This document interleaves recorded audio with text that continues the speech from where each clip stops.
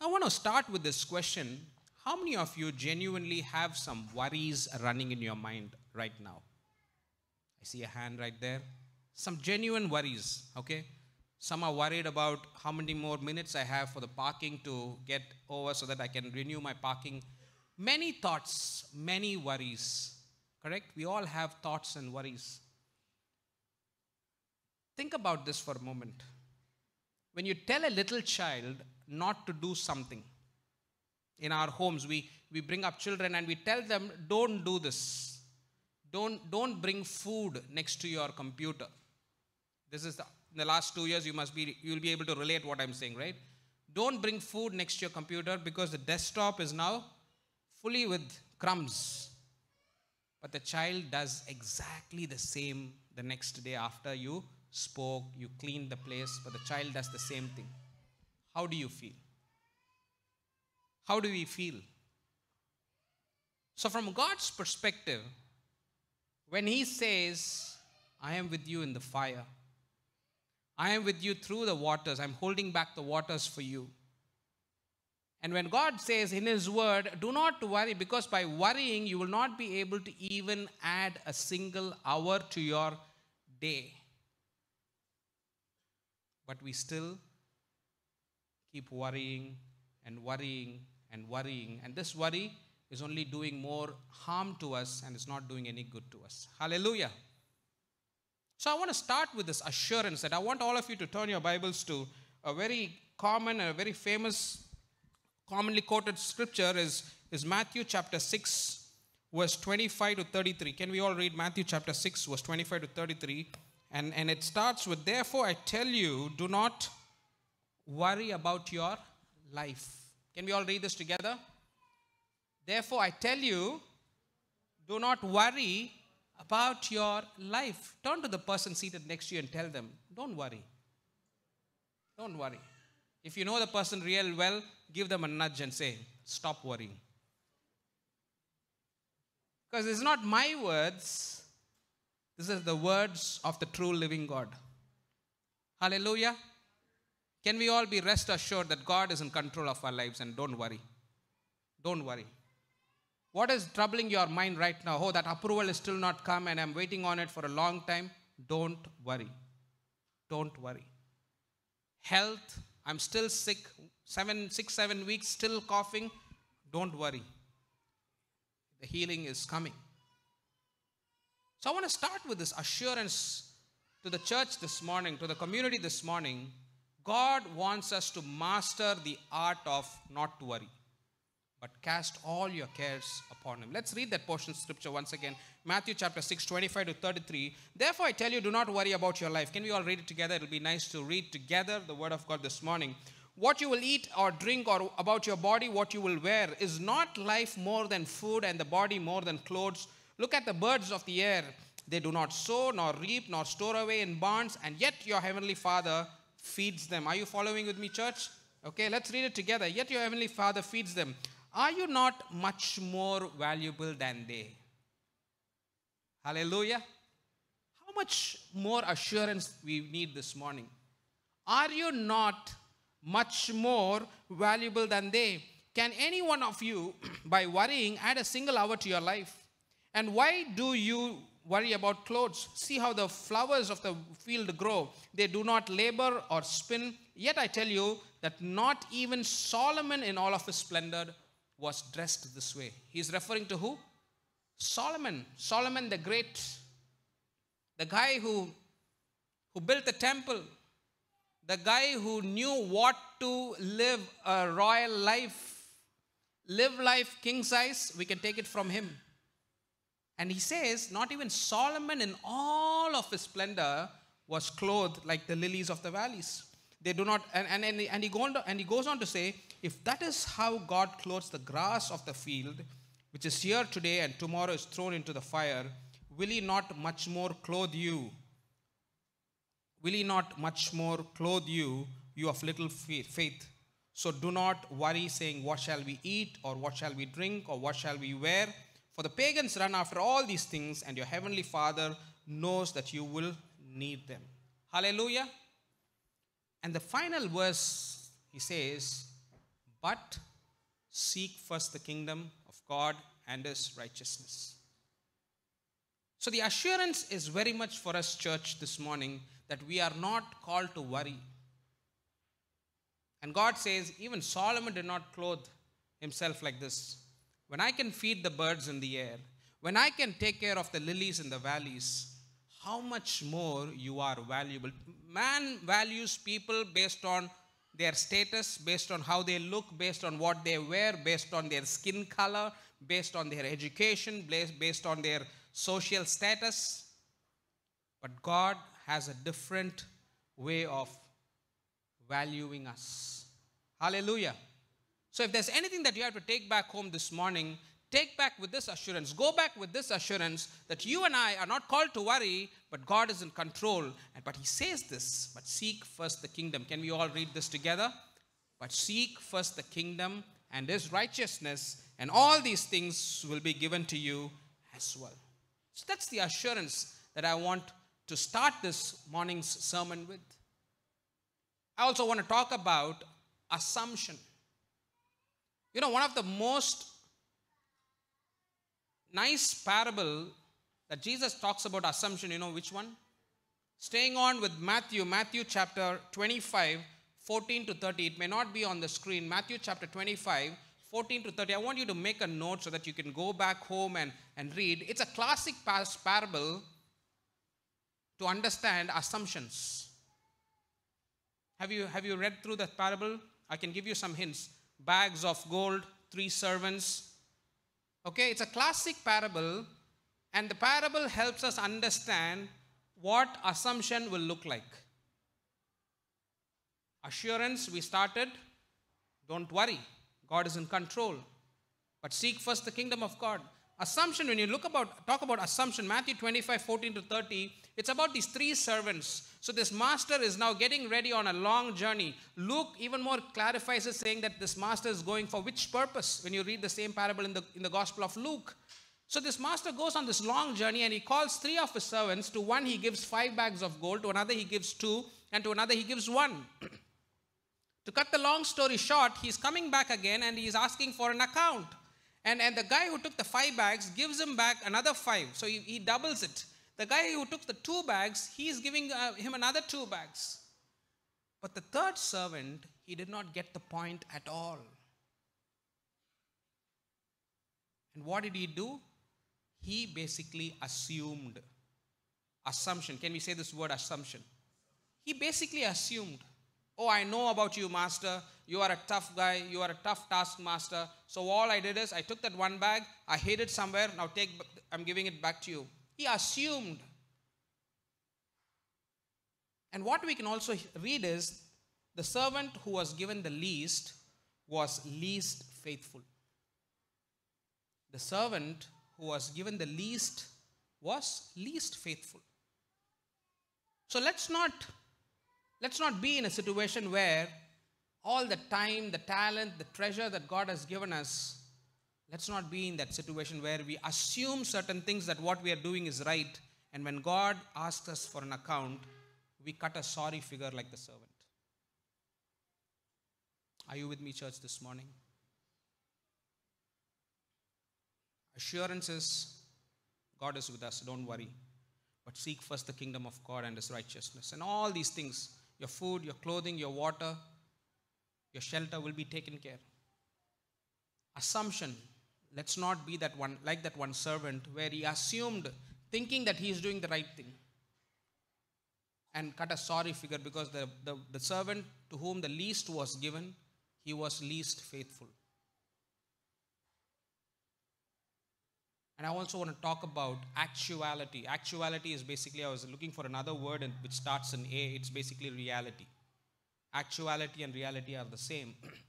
the actuality is this I'm talking about assurance, I'm talking about assumptions, and I'm talking about the actuality. The actuality is this after life, this is the actuality. What is actuality? The actuality is this Ecclesiastes chapter 12, verse 7 and 8. and the dust returns to the ground it came from, and the spirit returns to God who gave it. Meaningless, meaningless, says the teacher. Everything is meaningless. Can we all say this together? Meaningless. Everything is meaningless. Just a couple of days back, I was talking to one of our uncles, Pravina's maternal uncle. So he, he's close to the family, and uh, every now and then he calls. And this time I happened to pick up the call. He's, he's, he's crossed the retirement phase. Now he is basically calling people to, to just, uh, you have some uncles, aunts like that? Hey, what's happening in life? And that's all. Next 25 minutes is gone. Right? A nice man, very nice man. He's one of the guys, one of the uncles who actually, when I told, when we told him that I quit my job and I'm going to serve the church full time, so he had the guts or the audacity to tell me on my face that I've never come across a most irresponsible husband like you. That was 10 years back. But today he calls every now and then. He opens up to us. He really values us. He really, he's, he's like, he, he knows that, okay, I think these guys are taken care by God and, and, and, and he respects us. So he, I was talking to him. So he was, he basically started his career in ISRO. ISRO is, uh, what is that? ISRO, Indian Space Research, whatever, yeah. So he started his life there. And then he quit that work and then he started his own business into powder coating and painting and paint booth and all that. 30 plus years, been there, done that, retired now, one daughter, settled abroad. Life is great.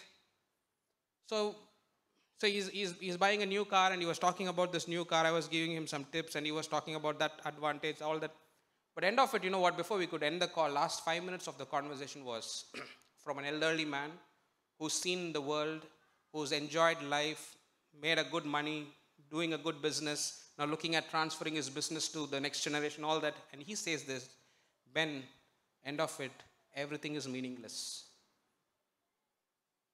And he says, don't go about money, money, money, money, money. Da. Live life and have good health. That only matters in the end.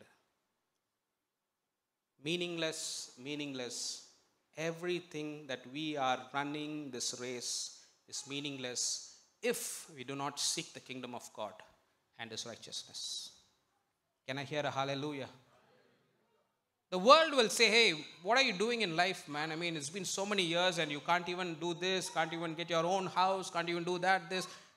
The world will constantly put pressure. But if we seek the kingdom of God and His righteousness, all these things will be added unto us. Will be added unto us. So I want you to read Luke chapter 12, verse 16 to 21 and, and, and, and see how beautifully Luke records. And he told them this parable The ground of a certain rich man yielded an abundant harvest.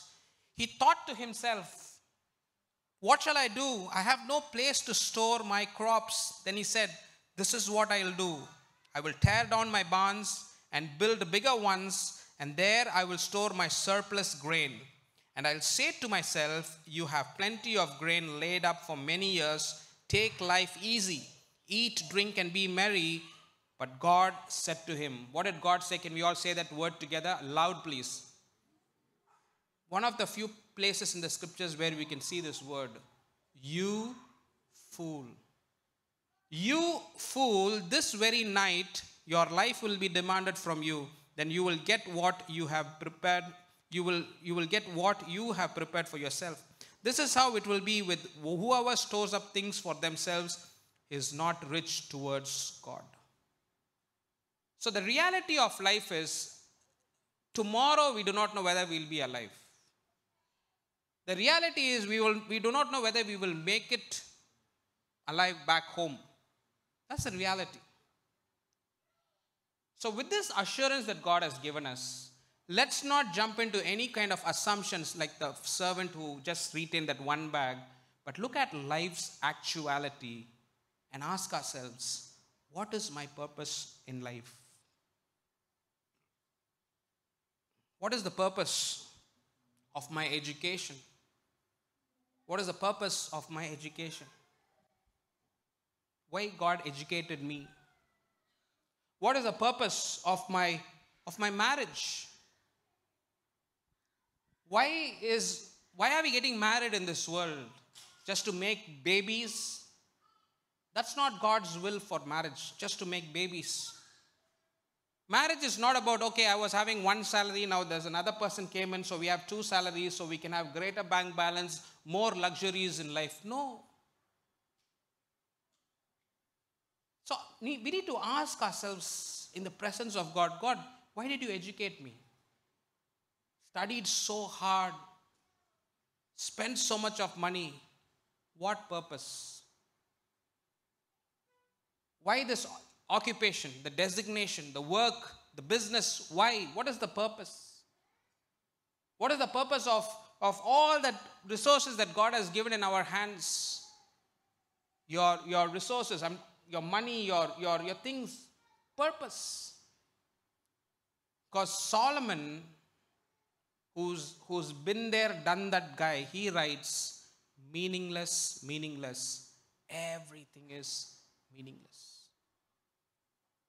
1 Corinthians chapter 6, verse 19 to 20, and this was a situation where Paul had to remind the church. Paul had to basically shake them because they were not doing the right things. And he writes them the sharp letter, and, and this line he writes in 1 Corinthians 6 19 20. He says, Do you not know that your bodies are temples of the Holy Spirit, who is in you, whom you have raised from God, received from God? You are not your own, you were bought at a price. Therefore, honor God with your bodies. So, purpose. This body, the Spirit of God is living inside of you, my dear brother. The Spirit of the living God is inside of you, my dear sister. So we need to honor our bodies. So, with bodies that we need to honor, what about the other things that God has blessed us with? our resources, our education, our employment, our marriage. Our marriages, our marriage that God brought us together is because to fulfill a purpose. Not just to raise some children and then they grow up and then in, in your second childishness they will take care of you and at one point of time they will have to go on and you will be moved to a home if you don't have any other place that's not the purpose. God always builds marriages or brings about marriages to build his church. Hallelujah. Because if this church needs to be healthy, if God's household needs to be healthy, my dear brother, my dear sister, it starts with your family. It starts with your family. It starts with your family purpose. So this morning I've titled the sermon, You and I are called to pursue purpose. Can we say this together? Pursue, you and I are called to pursue our purpose. We are not just called to live the mundane life. Work, work, work, work harder, get promoted, and then you get even more hard work. Then finally, you'll be brought back home in an ambulance because you've been working so hard. I think it's important that you take a post it on Monday when you go to work. Write this verse meaningless, meaningless, everything is meaningless on, on, your, on, your, on your monitor so that you're constantly reminded hey, I have much more to do than just this work. Are you with me, church, this morning? So you and I are called to pursue purpose. Can we say this together? Pursue purpose. I took this image because have you come across this fish symbol in, in, in many places? There is a history towards it. If you do not know, I want to quickly share it. This is how the early Christian, the second century Christians, they identified one another as Christians.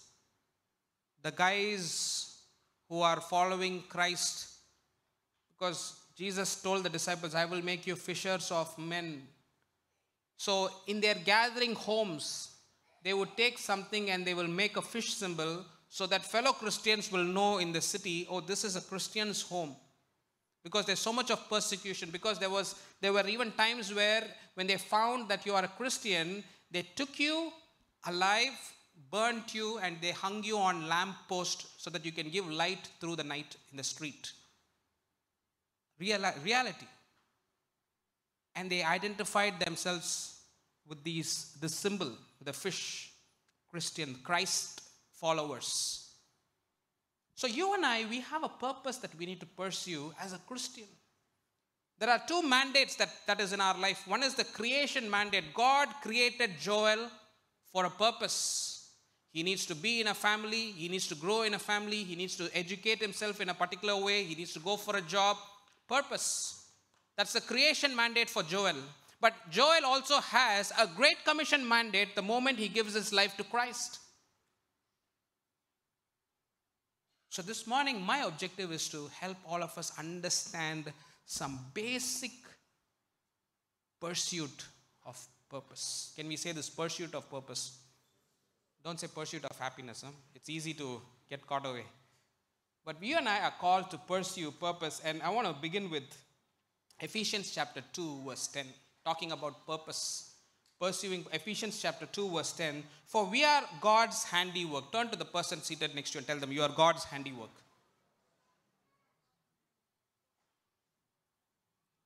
I had the opportunity to go to the, uh, the art, world art, world art, world art Dubai. I, I, was there, Praveen and I, we went to world art Dubai and we were awestruck, amazed the way people were painting and in the art they were, and Serena was there and uh, she displayed her uh, work as well. Amazing. If man can come up with some amazing handiwork, the Word of God says for we are God's handiwork. Can you tell to the person once again? Now you t- turn to the other side and tell them, You are God's handiwork. You are God's handiwork created in Christ Jesus to do good works which God prepared in advance for us to do. So, the basic pursuit of purposes, you need to understand that there is a set of good works that God has created for us in advance. What does he say? When you break down this, just, just this one verse, it basically says we are product of God. Are you getting it?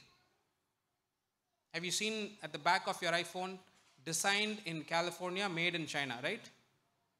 Designed in California, made in China. So we are basically designed in heaven, made in probably Kerala, Tamil Nadu, Maharashtra, or other parts of the world. So we are, we are, we are created the product of God. We are shaped by God. We are created to do a specific task. The good works. In the days to come, people in the households, we will all get to learn about this term called life work. This life work is the good set of good works that God has created in advance for us to do. And this life work is not your work life, by the way. It is much more than your work life. It's a set of all the good works God has created in advance for you to do. And we will learn about it. We will study about it to understand what are the set of good works that this God, this God has called me to do. So this morning we are not going to be dwelling on the good works or the life work, but this morning we are going to be dwelling on am I even in the pursuit of finding my purpose? What is that good work that God has prepared in advance for me to do? And you know what is the greatest good work that you and I as Christians can do? Any, any answers? Lead people to, to salvation. Last evening, it was such an encouragement for us. We, we were at, uh, at the Abu Dhabi church. We meet in a home. And uh, last evening, we had to meet another family. So we, we, we, were, we were not there for the start. So the worship, I, I, I called them and said, You start worship, you're coming. So 27th floor, we step out of the elevator and we could hear loud worship. 27th floor, worship is like the house is somewhere there, but we can hear the worship right outside near the elevator area. So we go, we finish this, we we we, we worship, and then um, then we then the host shares this testimony. Pastor, this evening, my husband and I we were just practicing some worship songs for this evening, and somebody rang the doorbell. So we quickly went. Our house is a small house, it's a single bedroom house. So we quickly went and opened the door. Nobody was there, but there was just this one tiny post it, a slip was there.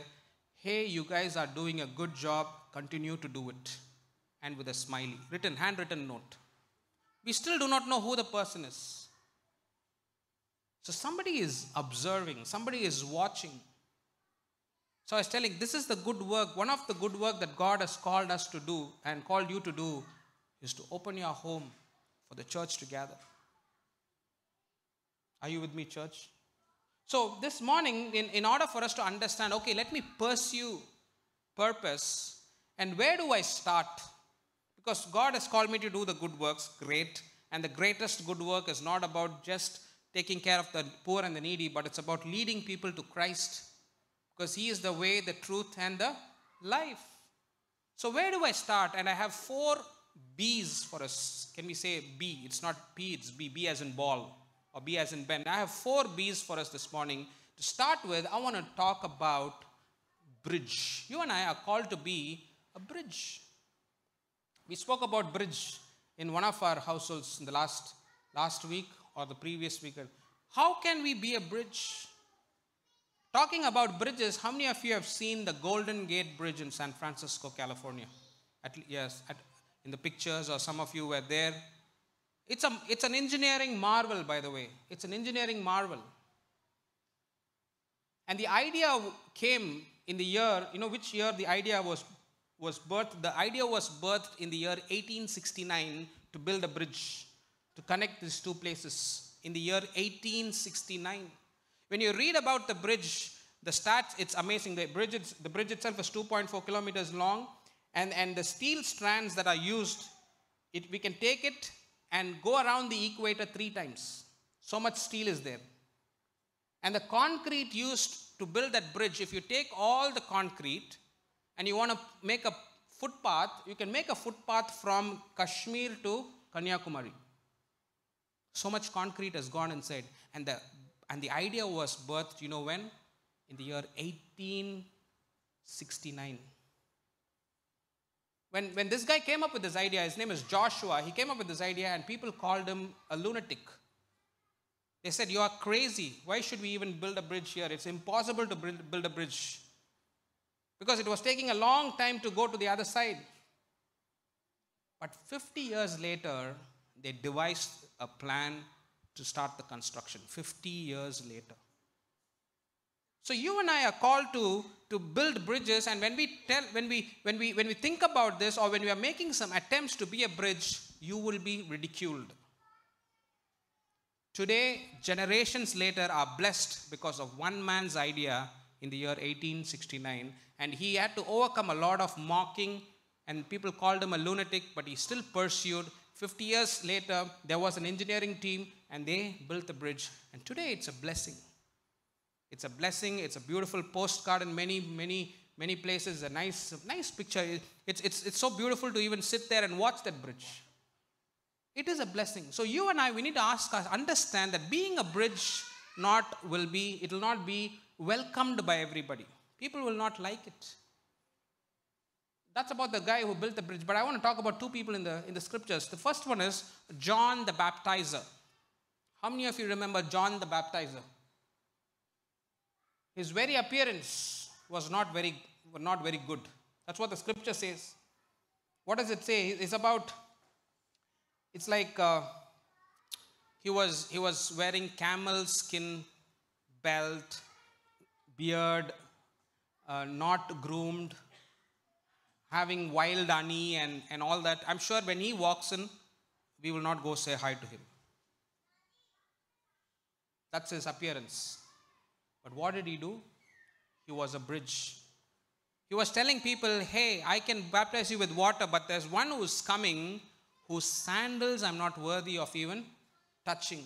And he will baptize you with the Father, Son, and the Holy Spirit. He was a bridge. Another guy from the scriptures, Moses.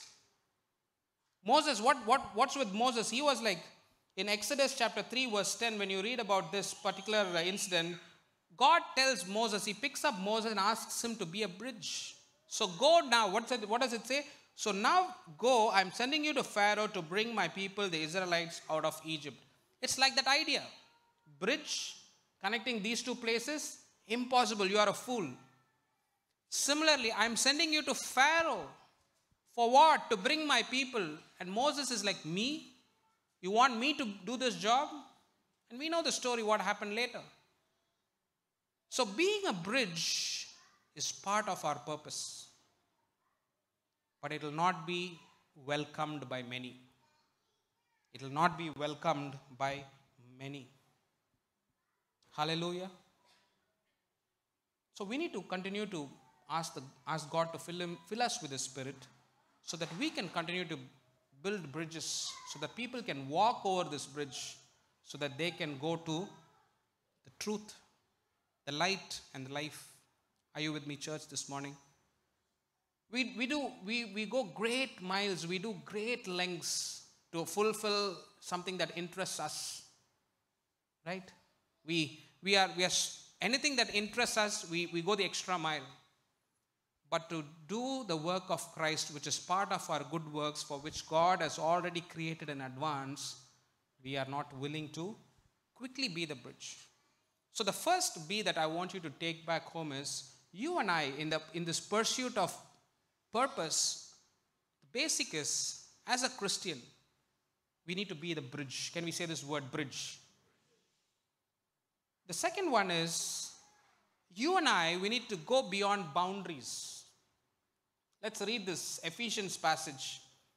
Ephesians chapter 2, verse 15 to 18. Ephesians chapter 2, verse 15 to 18. What's his purpose? Paul beautifully explains hey, this is why one Dubai is there. This is why one Abu Dhabi is here. This is why the church of Christ is there in this world. For what purpose? His purpose was to create in himself. Can we all read this together? His purpose was to create in himself a new humanity out of the two, thus making peace and in one body to reconcile both of them to God through the cross, by which he put to death their hostility. He came and preached peace to you who were far away and peace to those who were near, for through him we both have access to the Father by one Spirit. He's, re- he's referring to through Christ, the Jew Gentile divide is broken. The wall of hostility is broken. That's the purpose of the church. Bring people from all nations, all backgrounds, all walks of life, come together and, and, and, and be his, his family. For which you and I, we need to go beyond our boundaries. Are you with me, church, this morning? We need to go beyond our boundaries. God is in the process of bringing all of mankind and He calls them as my family. He's calling all of the mankind as His family. But when it comes to us, we are so picky and choosy about who we want to speak and be in touch with. Oh, they are not our types of people. Oh, that guy, he wears a black belt and a brown shoe. Oh, that's not the way to dress. I don't want to talk to him. Oh, she, oh, every day is a bad hair day for her. She's not my kind of a person. Oh, this guy, oh, when he removes his shoes and comes into our house, the whole house is now, it's got a new aroma, and I don't, I don't want to hang out with this guy. Are you, are you getting it? We build walls. This is my kind. He talks the same language. But the other person, he's, he's still stuck in the 60s. Somebody gifted me a, a, a fridge magnet. Pastor Ben, this is just for you. And, and you know what it read? Stuck in the 70s. Because that's how I used to be with, the, with, with a set of people that we were back in India. They called me, you're, you're the you're 40 plus guy, you're, you're still stuck in the 70s. But we are called to go beyond boundaries. Can we say this word boundaries? Because what did Jesus do? When you look at the incident that happened to the Samaritan woman by the well, he was doing something significant. Because the Jews and the Samaritans always had a tiff. John chapter 4, verse 9. John records this. And, and look at, the, look at the, the response of the Samaritan woman. The Samaritan woman said to him, What was the Samaritan woman's response? You are a Jew, and I am a Samaritan woman. How can you ask me for a drink? How can you ask me for a drink? But Jesus broke those boundaries.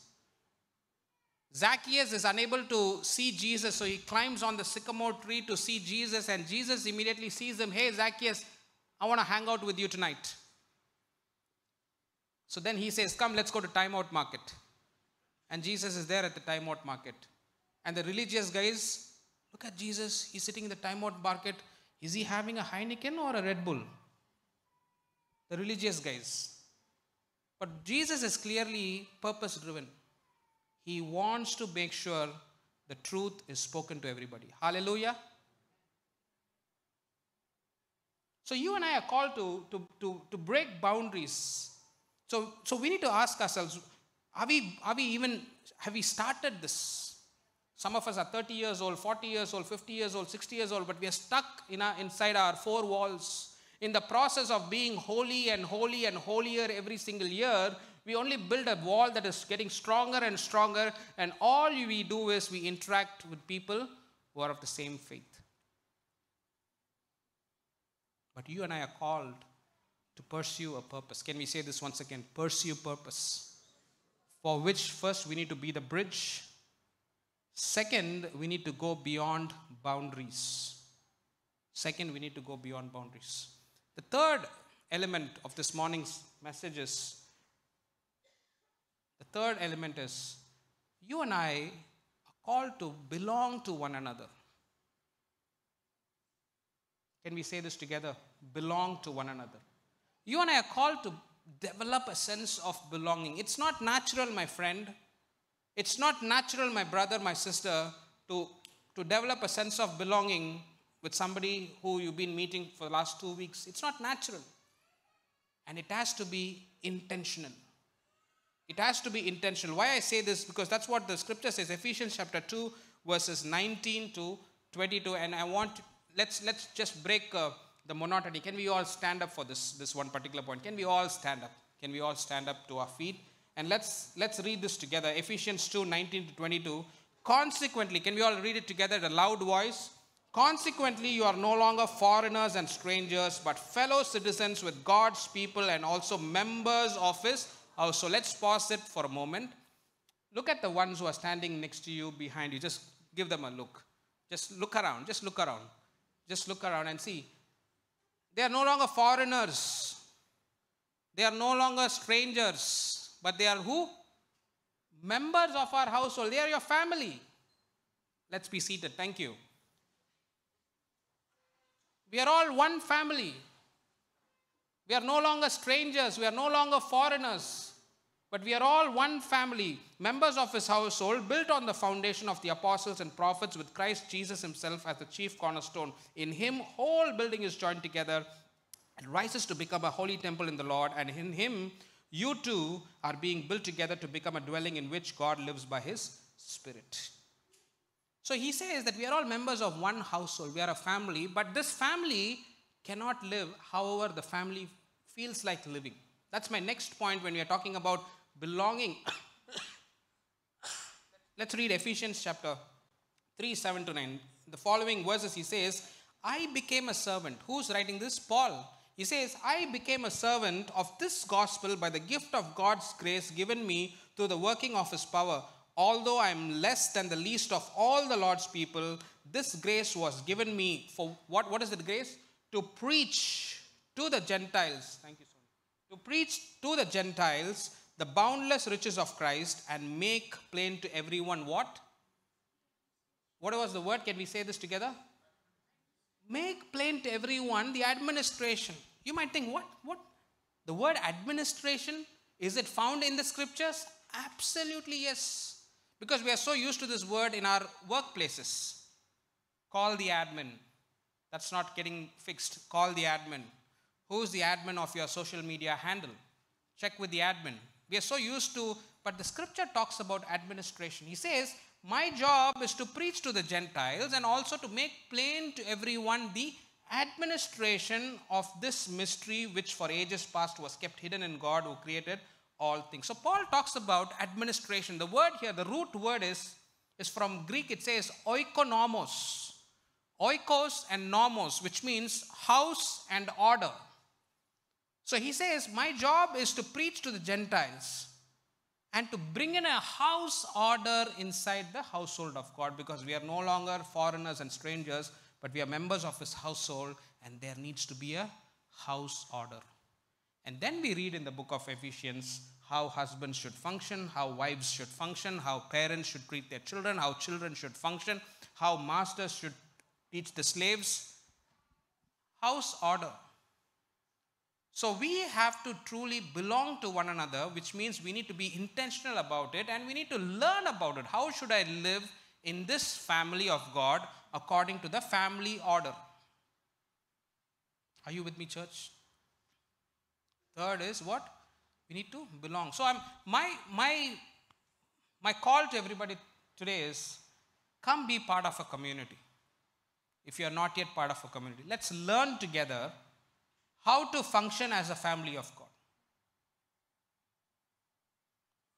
You reading the Bible, praying, good, do it. We need to have those personal Bible reading disciplines and prayer disciplines. But we need to spend some time together as a family of God to understand what is this administration?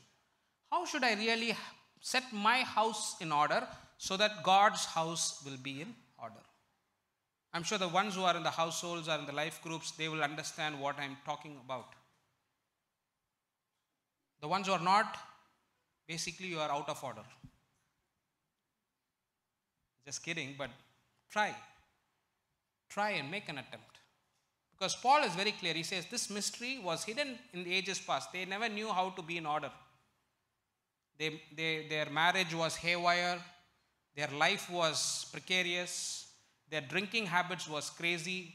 They were out of order, and this mystery was hidden in the ages past. And my job now, Paul says, is to preach to the Gentiles, bring them into one household of God, and teach them the house order, administration. And that's exactly what we are learning and, and, and, and getting to learn in our households, in our small groups. Are you with me, church? Fourth and the final B for all of us to take back home this this morning is we are called to be a blessing. First one was the bridge, second one was boundaries, third is about belonging to one another. Fourth is you and I are called to be a blessing. Acts chapter 20, verse 35, and Luke beautifully records this is what the Lord said, remembering the words of the Lord. Can we read this together? In other words, it is a blessing to be a blessing. It is a blessing to be a blessing. So we need to we need to stop decreasing in this attitude of I am being serviced. We should decrease in that area. God's household is not a place where I'm serviced. But God's household, God's family is a place where I am servicing. I am serving. Being a blessing. When we say give, we immediately think about money. But God is, is asking our whole life itself to serve Him, not just money. Not just money. Talking about money, we can, we can, we can talk about it for a whole, whole uh, sermon, and we can keep it for another day. But He's saying we are called to be a blessing. I want to talk about this true story, this true incident.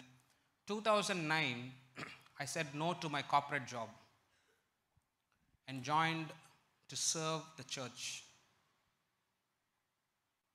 And since, since 2009, we never had a child, we never had Abby. But we've been going through the, the usual struggles, all the, all the challenges to have a child, but we never had one. So 2009, we decided as a family, Ben will quit, Pravina will continue to work, and I started serving in the church.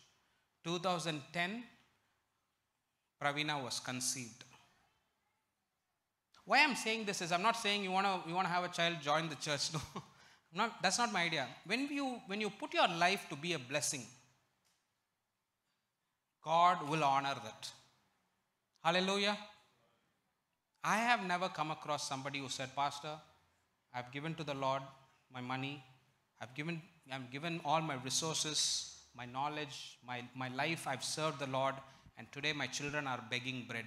I've never come across a person that way.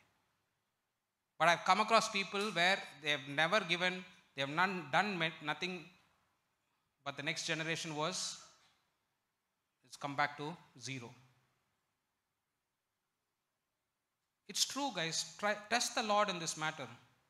You want to be blessed, think about your giving, giving your life to the Lord, giving your resources to the Lord, giving your, your time to the Lord, your talent, your, your everything to the Lord.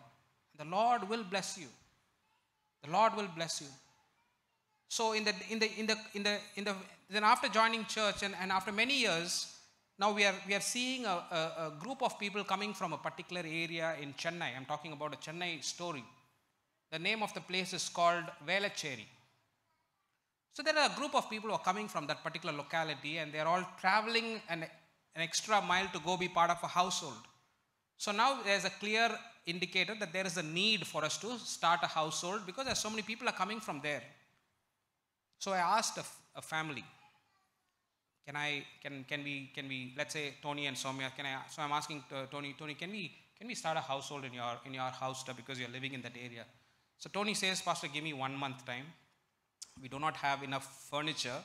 Let me furnish my house in a month's time and then we can go about it. Within, within a month's time, he comes back and saying, Pastor, I think 10 to 12 people can be easily seated. We can go ahead. So we start the household. We start the household. And, and this family, this couple, is trying to have a child for many years, close to seven, eight years. Three weeks after starting the household in their home, he calls me and says, My wife is conceived. Just three weeks. Be a blessing because it is a blessing to give. He, he, they altered their lifestyle so that their home, their family can be a blessing to the local church. Their home and their family and their life to, will be a blessing to God Himself. Because their home is now functioning as a mission center where the Word of God can be taught, the administration can be spoken about so that the house will be in order. And God releases a blessing over their lives. So it is very true, it is very real. You give, it will be given back to you. Not just money, test them in any area. So, four things that we need to, we need to take back home this morning. In our, in our pursuit of purpose, we are not called to just run this mundane life, work and work and work and work and not doing anything else towards fulfilling the purpose because God has created in advance a set of good works that He wants us to be doing. So we need to pursue that. And the first and the greatest good work that we can do is tell people the good news of gospel of Christ. Be a bridge. Go beyond your boundaries. Be a blessing to people.